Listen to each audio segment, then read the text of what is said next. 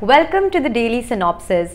The Rangareddy Court at Kukatpalli in Telangana has dismissed a petition filed by an independent filmmaker Nandi Chinni Kumar seeking a recall on the January 2021 order where the suit for damages filed by him was disposed of as withdrawn pursuant to a settlement agreement.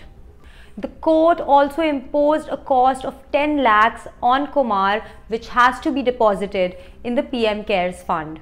The litigation was initiated by an independent filmmaker who claimed that he had purchased the rights to make a film on the life of footballer Akhilesh Paul. Later, a settlement agreement had been entered into between the parties after which Kumar had withdrawn the suit. However, Kumar approached the court again with the present plea, claiming that the agreement was based on fraud and misrepresentation. He thus sought a stay on the release of the film.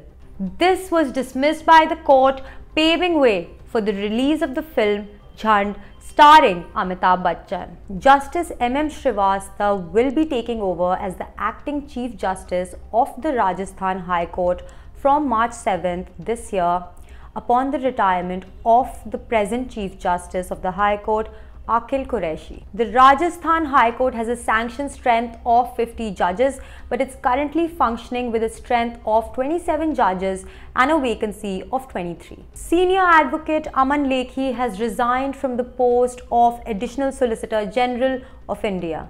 In a letter addressed to Union Law Minister Kiran Rijiju, Lekhi said that he is tendering his resignation with immediate effect.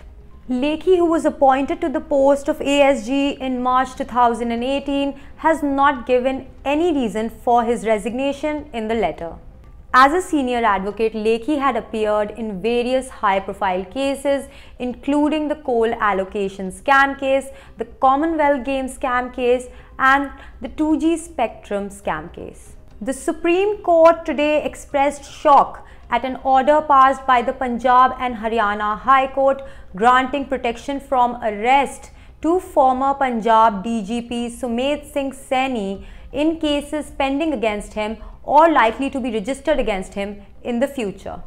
The top court expressed indignation on how the High Court could have granted protection to Saini against cases which have not even been registered.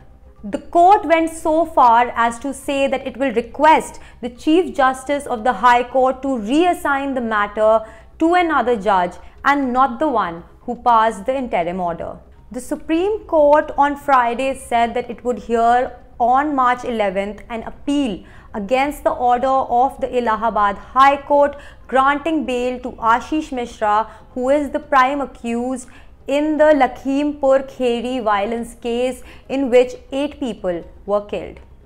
The plea filed by the family members of the deceased farmers said that they have been forced to approach the top court since the state of Uttar Pradesh had failed to file an appeal against the High Court order granting bail. The appeal was mentioned by Advocate Prashant Bhushan before a bench of the Supreme Court led by the Chief Justice of India, N.V. Ramana. Subscribe to our YouTube channel and click the bell icon.